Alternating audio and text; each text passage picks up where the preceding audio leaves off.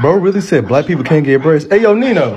What's up, bro? This bro talking about I can't get braids. You want braids? Yes, sir. I drove two hours to get here, man. Let's go. You drove two hours? Yes, sir. Alright, let's go!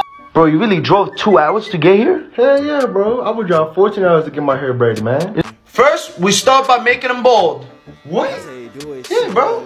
Bold. I can't even get braids. Bro, it's just part of the video. Relax.